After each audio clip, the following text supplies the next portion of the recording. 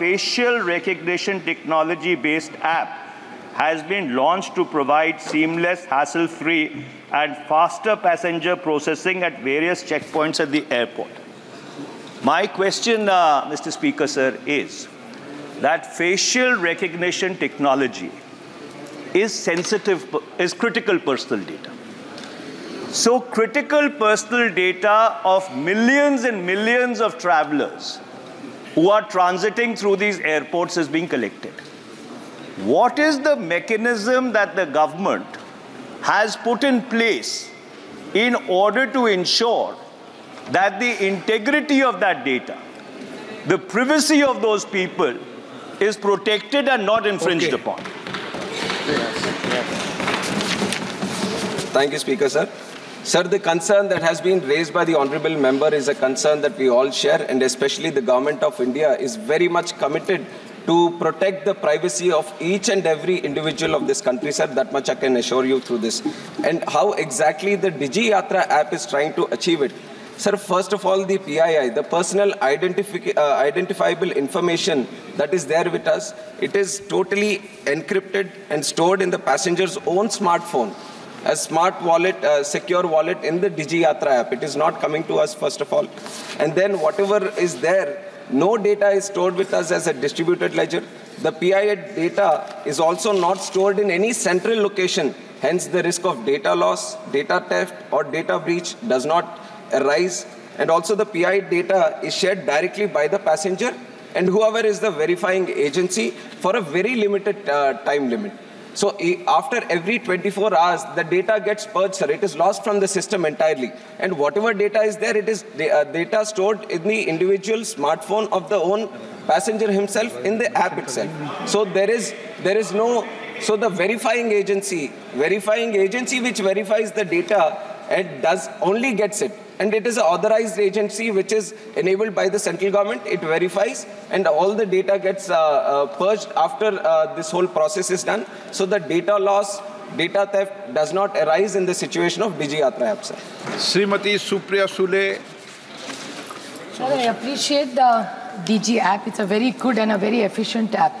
Just in the interest of national security, I'd like to ask the Honorable Minister that when you are traveling anywhere in the national interest connected with the app, is it compulsory for every traveler to carry an Aadhaar card? Suppose I'm traveling on a ticket.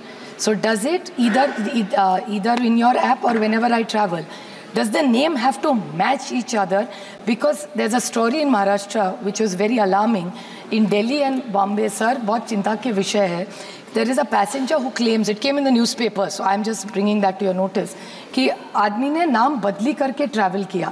तो अगर technology में ऐसे कोई भी जा सकता है so is that checks and balances people can not so the Aadhaar card is critical for identification और how will you identify your passenger so does the name has to match the I card what is the technology available, or is it a face identity? Complete clarity because it's a very alarming national security issue which has happened at Delhi and Bombay. airport. Thank you. And is it a criminal offense if you don't travel like, with like the I right name? have, like I have mentioned, sir, while we protect the data, uh, the, uh, uh, the data of each and every passenger, the also national security is a very important aspect. And when we are talking about DigiYatra specifically, the name has to uh, uh, has to uh, correlate with the uh, Aadhaar also because it takes Aadhaar into account.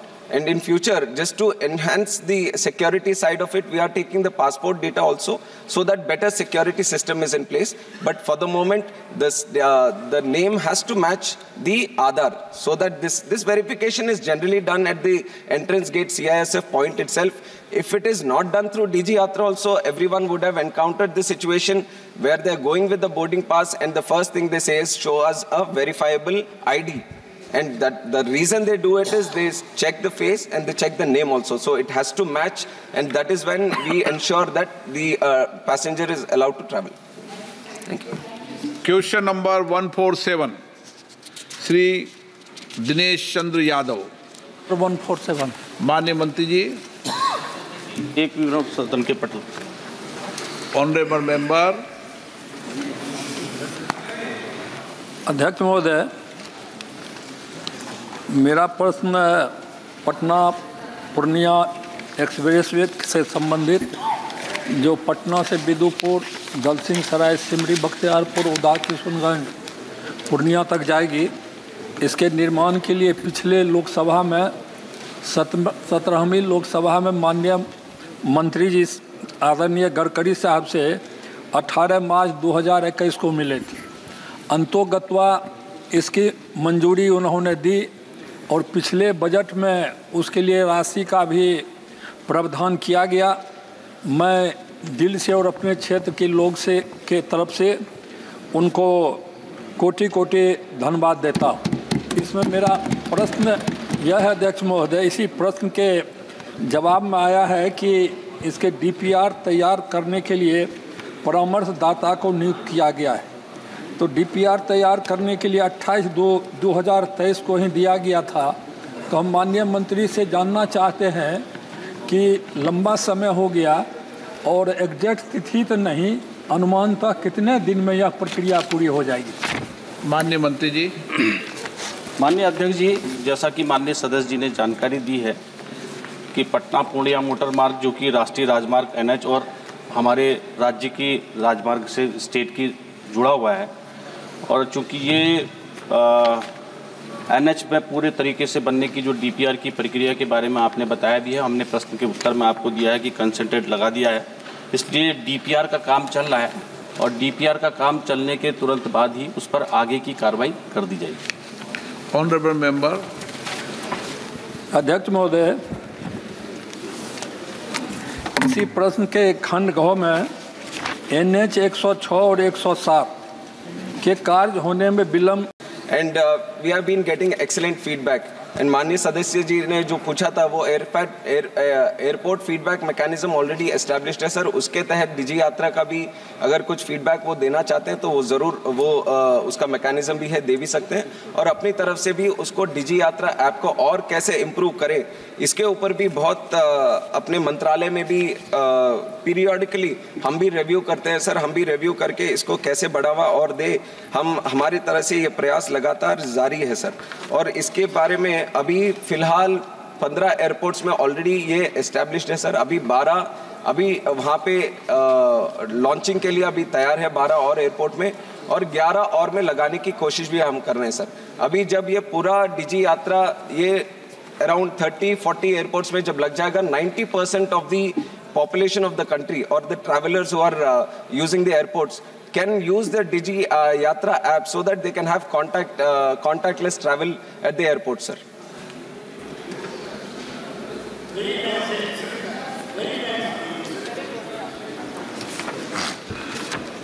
एक विषय दूसरा है।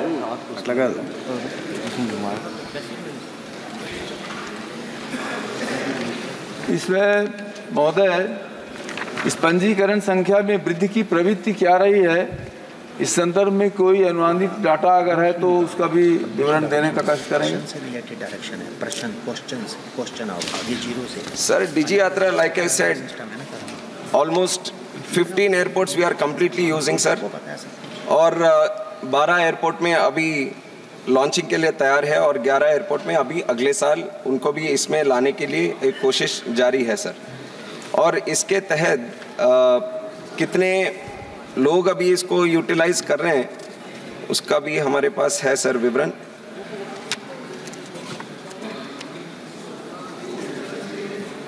Sir उसका मैं data अभी उनको okay. अलग से वो भेज रविंद्र शुक्ला जी और Ravi Kishan ji.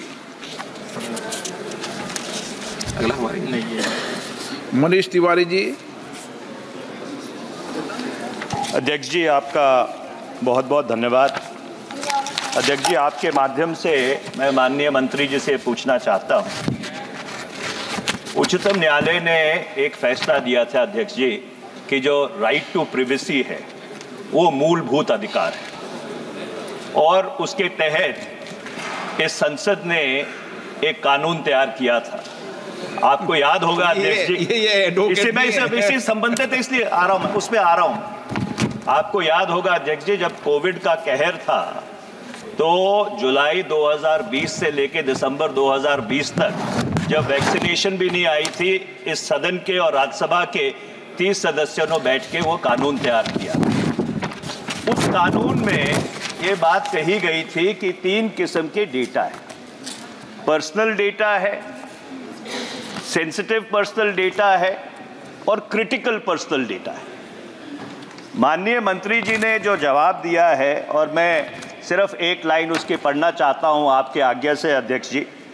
Digi Yatra facial recognition technology based app has been launch to provide seamless hassle free and faster passenger processing at various checkpoints at the airport my question mister speaker sir is that facial recognition technology is sensitive is critical personal data So critical personal data of millions and millions of travelers who are transiting through these airports is being collected.